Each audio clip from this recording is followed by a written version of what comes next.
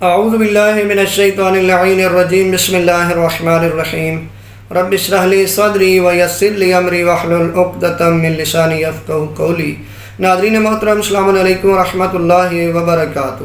ناظرین محترم، سونے سے پہلے یہ سورہ، جو مختصر سی سورہ ہے، یہ پڑھ کے سویا کریں تو پروردگار آپ کے پچاس سال کے گناہوں کو معاف فرما دے گا۔ یہ میں نے بیان فرما رہا، امام جعفر صادق علیہ السلام بیان فرما جو شخص سوتے وقت سو مرتبہ سورہ توحید پڑھتا ہے یعنی بسم اللہ الرحمن الرحیم کل هو اللہ احد، اللہ الصمد، لم یلد ولم یولد، ولم یکن له کفوا احد۔ ہر بچے کو جوان کو یہ یاد ہوتی ہے۔ یہ سورہ جو سو مرتبہ یعنی ایک تسبیح پڑھ کے سوتا ہے تو پروردگار اس کے پچاس سال کے گناہ معاف فرما دیتا ہے۔ پچاس سال کے گناہ تھوڑے نہیں ہوتے ہیں اور ظاہر سی بات ہے، آپ جانتے ہیں کہ اگر کوئی گناہ کرتا بھی ہے تو اس کی خواہش ضرور ہوتی ہے کہ میرے گناہ معاف ہو جائے۔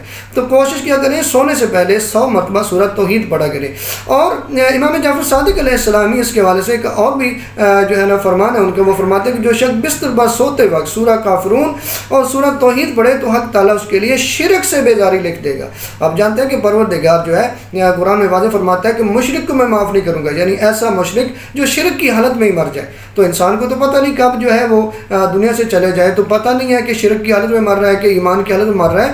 تو کوشش کرنی چاہیے سونے سے پہلے سورات کافرون پڑھیں اور سورہ توحید پڑھیں۔ تو پروردگار آپ کو شرک سے محفوظ رکھے گا یعنی شرک سے بیزاری لکھ دے گا۔ اگر آپ سو مرتبہ سورہ توحید پڑھ کے سوتے ہیں، تو پچاس سال کے گناہ معاف ہو جاتے ہیں۔